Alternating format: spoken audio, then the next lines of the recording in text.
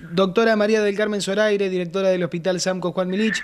Bueno, doctora, una última consulta. Bueno, se ha hablado eh, mucho en, las redes sociales sobre bueno, la situación epidemiológica y las estadísticas. ¿Puede resultar que haya gente contagiada que presente síntomas y no alerte esto y no, por lo tanto no, no se recuente a nivel provincial? Puede ser, es una posibilidad, pero no tenemos cómo medirlo.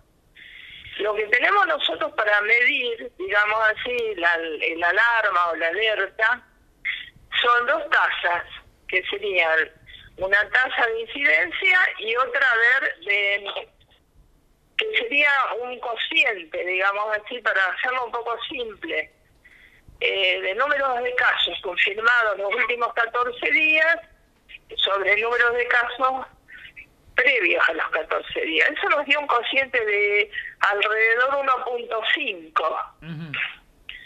Que eso eh, sería un aumento muy, muy, muy leve, porque lo normal sería 1.20. Doctora, ¿la gente sigue recurriendo al 0800 ante los síntomas? No sé, eso no lo tengo claro. Lo que sí sé es que hay un aumento en la zona de la unidad febril, o sea, eso de gente que consulta por un, eh, digamos, por estar con un cuadro de fiebre y demás, hay un aumento. Yo eso medio que se los expliqué hace un rato, pero estamos notando un incremento diario de, gente, de pacientes, de a cinco, otros cinco más. Nosotros lo no podemos tomar por día porque la semana epidemiológica es siete días, o sea, se toma por semana.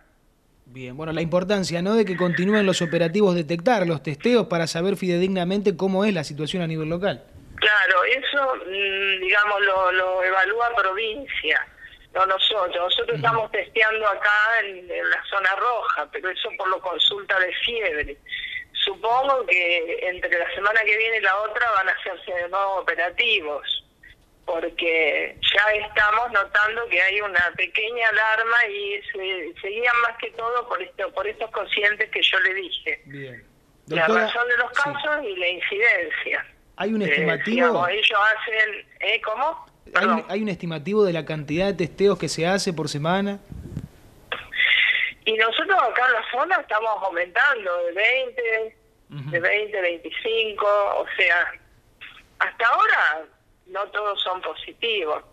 Todos los positivos que están ambulatorios se controlan y los que tienen síntomas se internan, pero por ahora el aumento que hay es ese. Pero yo vuelvo a recalcar a la población, esto es hoy y la semana que viene puede haber un incendio, o sea que por favor la gente tome conciencia sí o sí de que tiene que cuidarse como los primeros tiempos. No hay, este, en ese sentido, tenemos que sí o sí estar conscientes cada ciudadano de que debemos respetar las normas de aislamiento, de reuniones, de todo lo que sea, para, por favor, disminuir el impacto que va a tener esta ola.